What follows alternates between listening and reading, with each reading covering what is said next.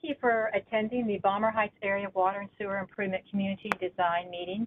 If you have the ability to see the chat message, um, it does have a link, which I'm not sure if you click on that and that'll work or not.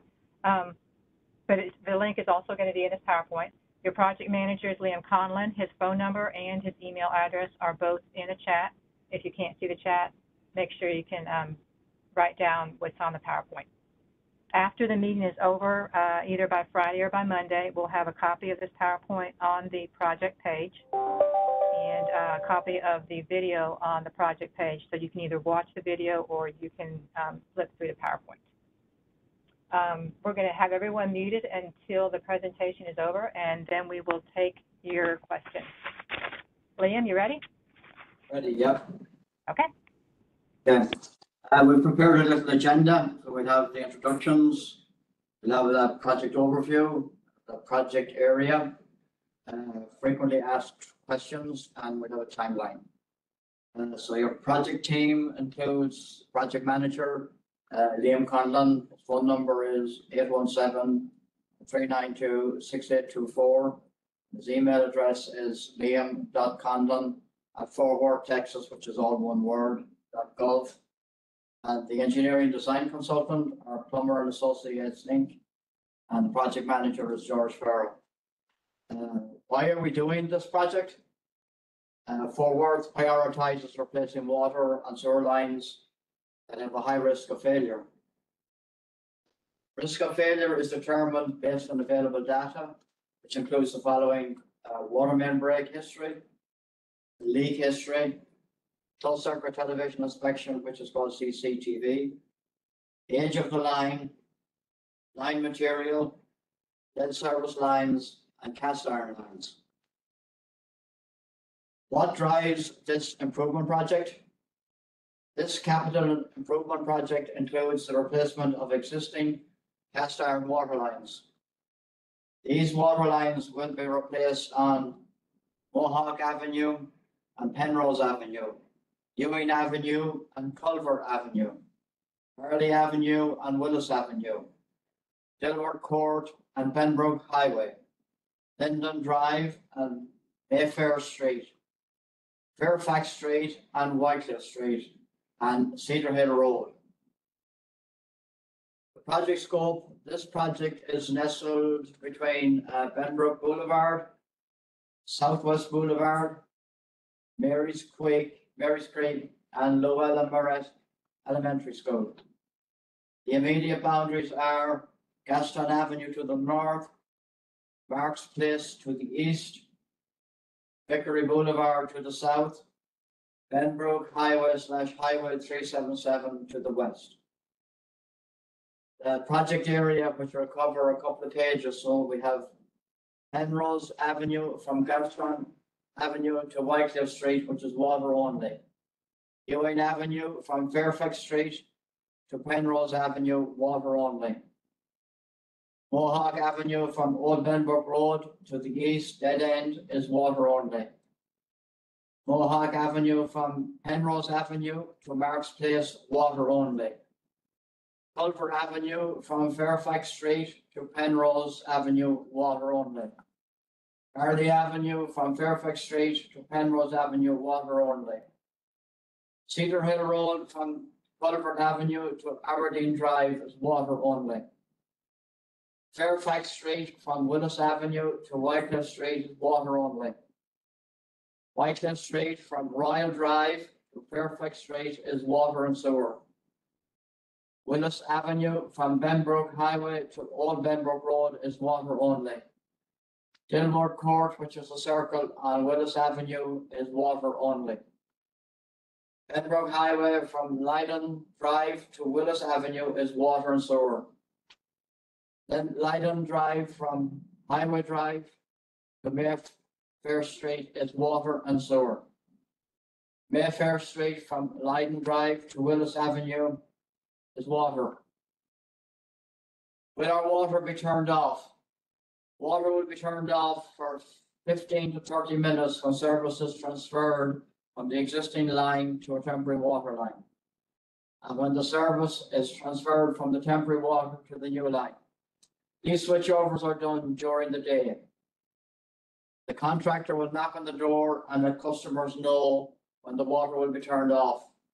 The transfer typically takes thirty minutes per house or business.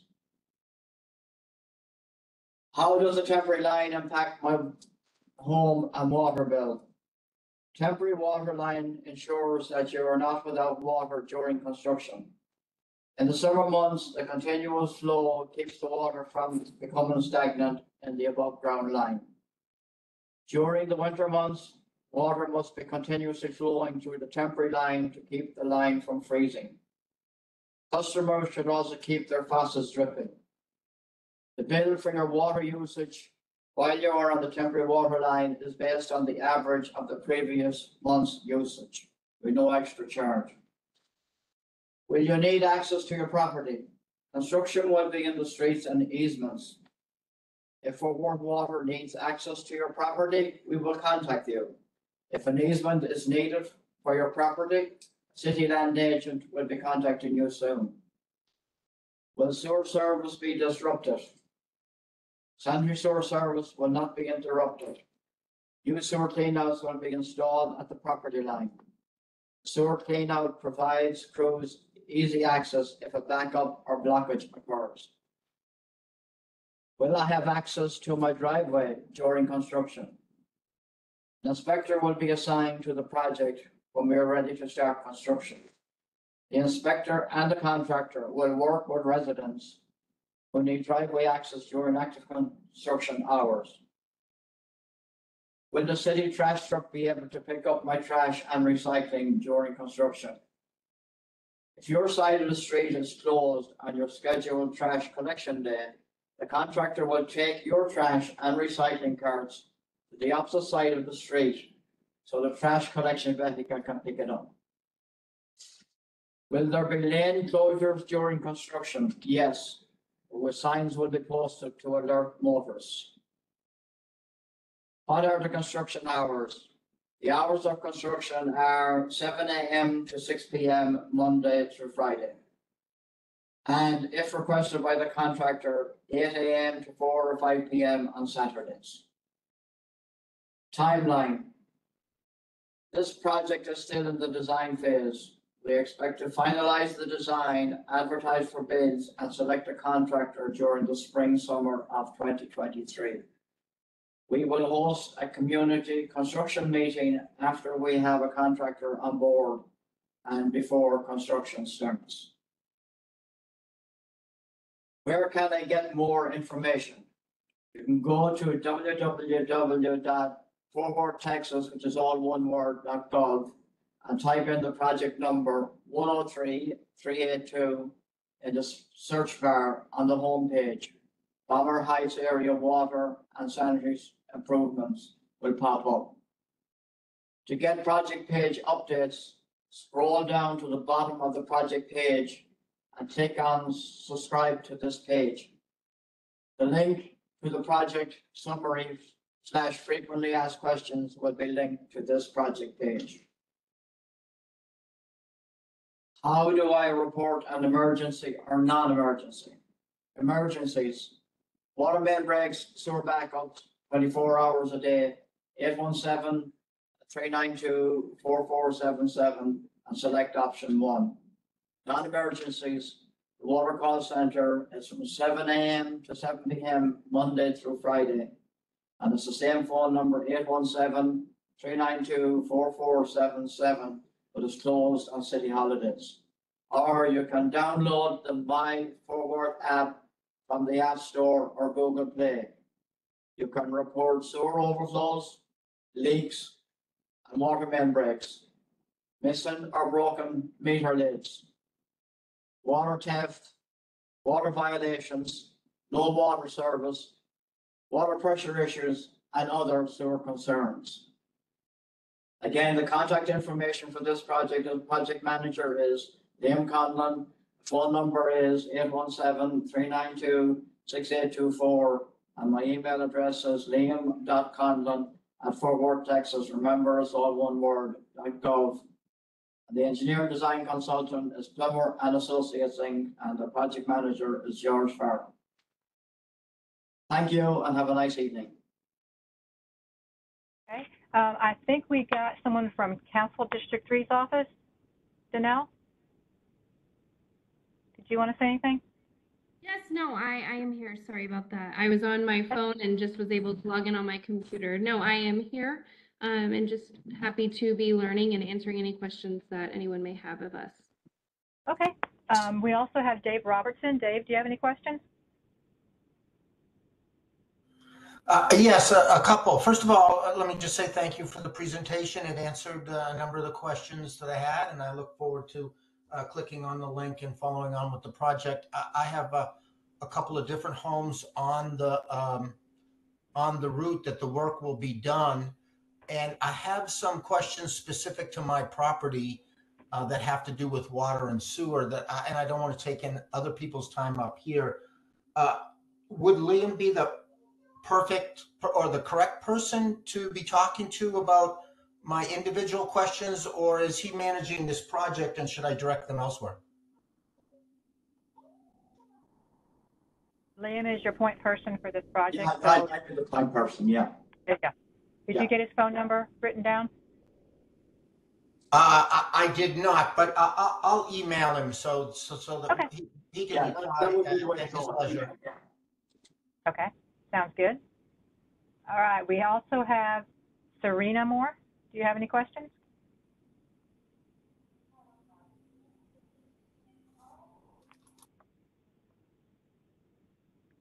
Nope, I'm here with uh, Plummer. Oh, okay, great. Okay, and we have a call-in user. I'm not sure if that's one of us or if that's uh, another resident. Okay. Um, Liam, can you go back to that slide that shows how they can get to the project page?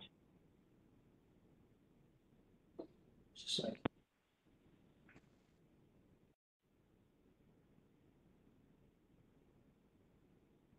Okay, so this one's really easy because there's not a lot of um, projects that have the word bomber in them. So 103382 will get you straight to that page.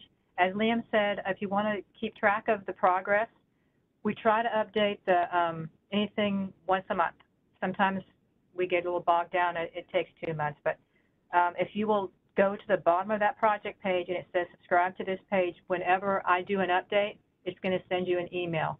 It won't tell you what I've updated, um, but it does tell you the page was updated, so you can ask questions if you have those. And Liam, I think we said spring or summer of 2023 will come back. Is that correct? For construction?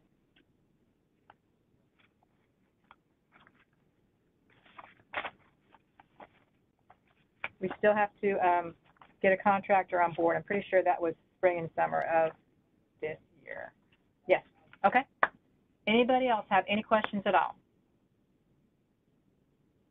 This is Dave Robertson again. If I could jump in with a, a quick question, uh, and I know this is a tough one to answer. Um, I, I saw the, all the work on Mary's Creek. I know it takes quite a while to get it all done.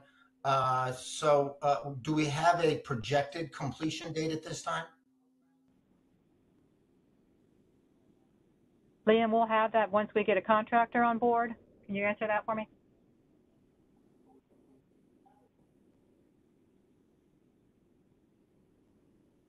Hang on, hang on just a second, guys.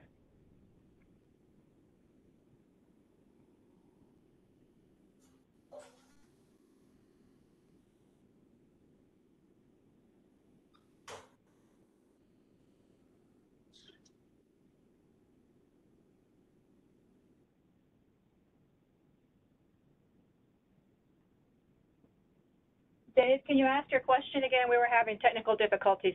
Oh, sure, no worries. I was wondering if uh, you had a projected completion date at this point. Uh, Okay, Liam? no, Not at, not at this point, because we, when we get a contractor on board and we get closer to starting construction, we will have another, another meeting, which will be a construction meeting with the contractor, a, a public meeting just like this. And at that point, then we'll have a better idea of when the contractor would be, what the schedule will be. And, and will we get another notice of that meeting like we got the- a notice of this meeting? Yes, certainly, sir. yes. Okay, great. And um, I I noticed that uh, we're primarily doing water I, I noticed that on Mary's Creek, we did gas, water and sewer, and then you repaved the street and put in sidewalks. Any of that, uh, additional work in that, in this project, will you be repaving the street? Will you be putting in sidewalks? No, not now. Okay, thank you. Okay. If that's all the questions we have, uh, just give me until at least Tuesday to make sure the project page is updated. Again, we will turn this WebEx video into a YouTube video. So you're going to be looking for a YouTube video link on the right side bar. And we will also do a PDF of this PowerPoint so you can just flip through it if you want to um, get some answers that way. And we'll probably come back and see you in about six months or less. Thank you, everybody. Thank you. Thank you.